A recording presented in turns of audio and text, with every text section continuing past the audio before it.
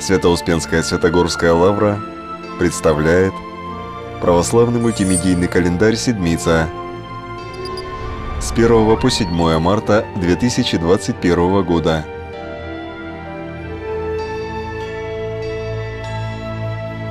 Седмица мясопустная. В эти дни православная церковь чтит память священномученика Ермогена, патриарха Московского и всея Руси, чудотворца – благоверного князя Ярослава Мудрого. Совершает празднование Козельчанской иконы Божией Матери. Отмечает Вселенскую родительскую субботу, неделю мясопустную о страшном суде. Во вторник, 2 марта, православные христиане чествуют память священномученика Ермогена, патриарха Московского и всея Руси, чудотворца. Он родился около 1530 года. Его служение началось в Казани приходским священником, где в 1579 году он стал свидетелем чудесного явления Казанской иконы Божией Матери.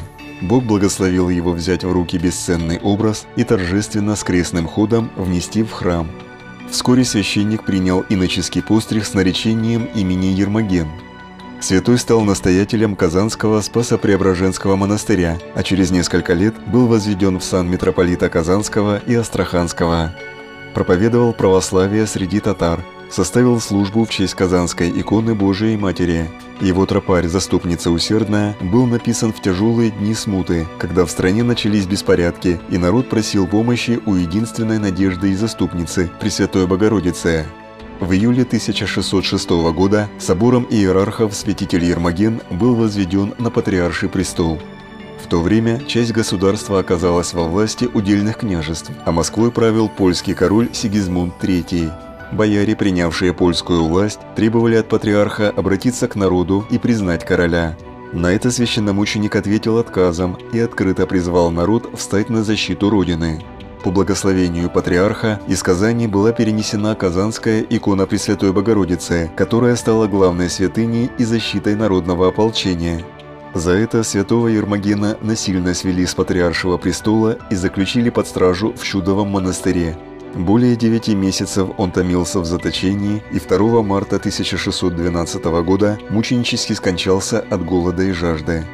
Тело святителя было погребено в Чудовом монастыре и через 40 лет найдено нетленным.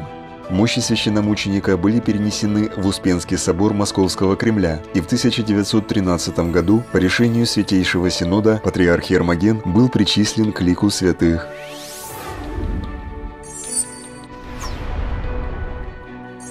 В пятницу 5 марта церковь празднует память святого благоверного князя Ярослава Мудрого во святом крещении Георгия.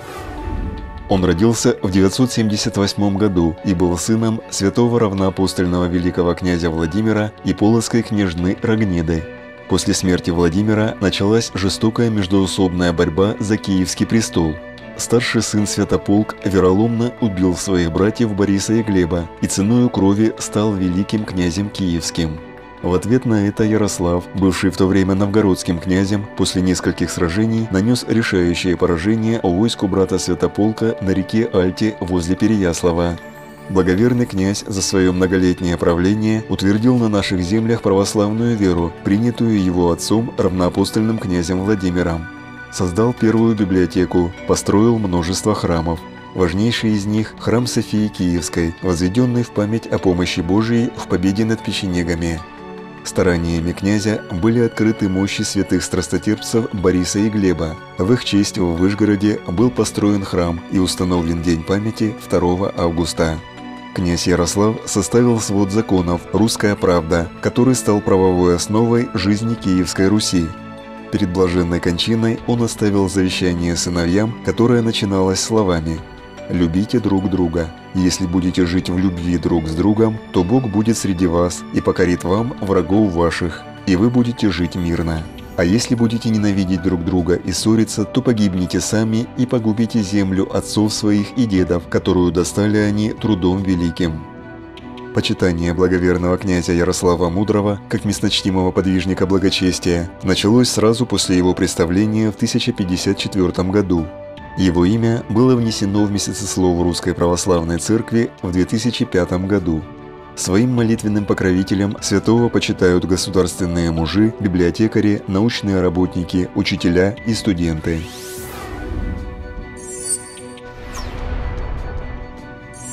6 марта – Вселенская мясопустная родительская суббота. В календаре православной церкви есть семь дней особого поминовения усопших. Среди них выделяют две родительские субботы, в которые церковь молится за всех усопших отцов и братьев по вере. Эти дни называются Вселенскими родительскими субботами. Такой чин богослужения совершается всего два раза в году – в субботу перед неделей мясопустной или неделей о страшном суде и в субботу перед праздником Пятидесятницы. В первую родительскую субботу православные христиане понемногу присоединяются к торжественному и покаянному настроению Великого Поста. «Поминай час смертный, и вовеки не согрешишь», – говорили отцы церкви. В этот день мы вспоминаем всех усопших православных христиан и молим Господа нашего Иисуса Христа явить милость в день своего второго пришествия – в поминальную субботу в храме совершается заупокойная божественная литургия. Все православные христиане стремятся посетить храмы Божии, чтобы поминанием церковным почтить память своих умерших близких, родных и друзей. Каждый верующий человек знает, что нет большего проявления любви к своему усопшему родственнику, чем молитва за него, особенно молитва церковная за божественной литургией – в храм прихожане приносят поминальное колево, которое имеет символический смысл. Зерно, чтобы образовать колос и дать плод, должно быть положено в землю и там истлеть. Так и тело умершего должно быть предано земле и испытать истление, чтобы потом восстать для жизни вечной. Мы готовим поминальную трапезу, вспоминая слова Спасителя. «Истинно, истинно говорю вам, если пшеничное зерно, пав в землю, не умрет, то останется одно, а если умрет, то принесет много плода. Зерном можно назвать наших сродников усопших, а плод их в нас, в нашей памяти о них, в наших делах, совершаемых благодаря их прошедшей жизни. В этот день мы молимся обо всех от века почивших православных христианах, отцах и братьях наших, и просим о упокоении их, вселении их праведных, также 6 марта церковь совершает празднование Козельщанской иконы Божией Матери. Эта икона Пресвятой Богородицы была написана в Италии и привезена в Россию одной из фрейлин императрицы Елизаветы Петровны. Владелица иконы вышла замуж за писаря запорожского войска и переехала в Украину. Так в XIX веке образ перешел в наследство графскому роду капнистов и стал их семейной святыней. Жили они в селе Козельщина Полтавской губернии. К тому времени икона уже была известна как чудотворная. По преданию, она особенно помогала девушкам, просившим Божию Матерь о семейном счастье. Христианки молили о помощи Пресвятую Богородицу и протирали ризу на иконе. По молитвам Пречистой Девы Марии девушки удачно выходили замуж и вскоре рожали первенцев – Народное почитание образ получил после чудесного случая.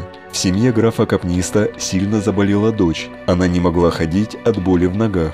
Лучшие врачи пытались помочь девочке, ставили металлические упорки, туго бинтовали ноги. Но выздоровление не наступало. Родители показывали дочь опытным профессорам, возили лечиться на Кавказ, но все старания были бесполезны. Девочке становилось все хуже, ноги полностью отказали, она перестала чувствовать руки, и болезнь начала поражать позвоночник. Родители и больная дочь уже отчаялись, но неожиданно появилась возможность обратиться к заграничному профессору. За день до выезда мать попросила дочку «Маша, мы завтра едем в Москву. Возьми образ Божией Матери, почисть ризу и покрепче помолись перед нашей заступницей. Проси, пусть поможет нам благополучно совершить путь и излечить твою болезнь». Девочка, потеряв надежду на земных врачей, всю веру возложила на Бога и верила свою судьбу небесной помощи. Прижав к груди святую икону, девочка протерла ее и всю скорбь и отчаяние души излила перед ликом Богородицы. Молитва больной была услышана. Она сразу почувствовала силу в руках и ногах, сорвала металлические упорки и стала свободно ходить по комнате, продолжая благоговейно держать в руках образ Божией Матери. Мать пригласила в дом приходского священника, и перед образом был совершен благодарственный молебен. Радостное событие сделалось скоро известным в окрестных селах. Мать поехала в Москву со здоровой дочерью и взяла с собой чудотворную икону. В столице новость об исцелении быстро распространилась, и народ стал стекаться к Козельчанской иконе Божией Матери.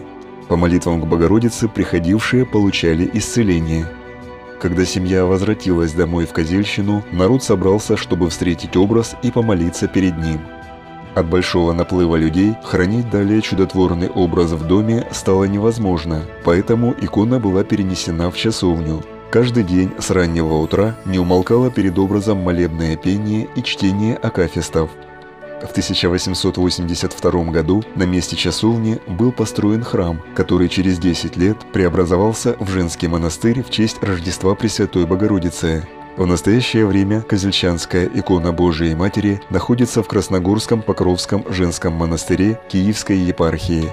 Паломники со всей страны стекаются к чудотворному образу, чтобы получить исцеление от недугов телесных и душевных.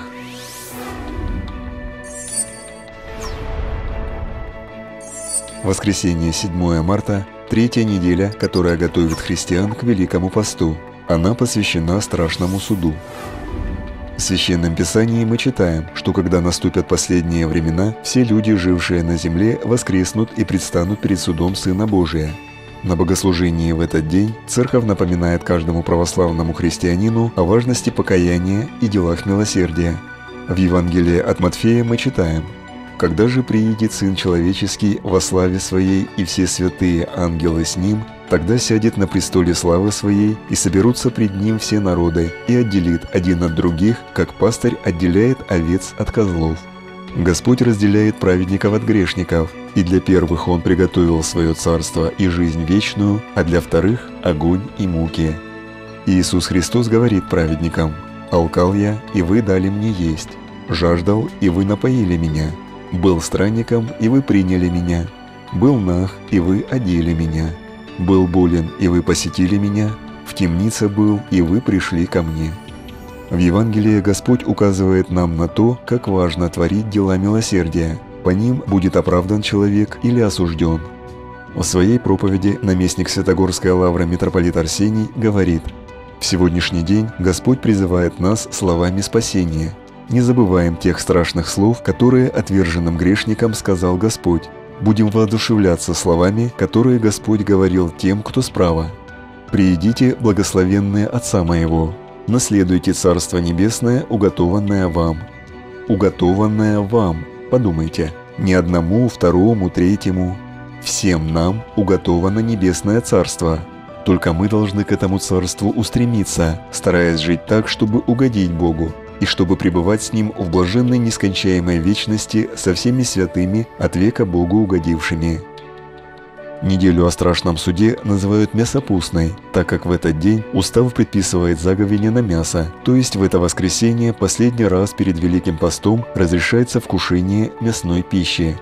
Пусть Великий пост, который мы с вами будем проходить, пойдет нам во спасение души и укрепление в вере. Подписывайтесь на YouTube-канал Святогорской Лавры, и вы всегда будете в курсе новостей обители.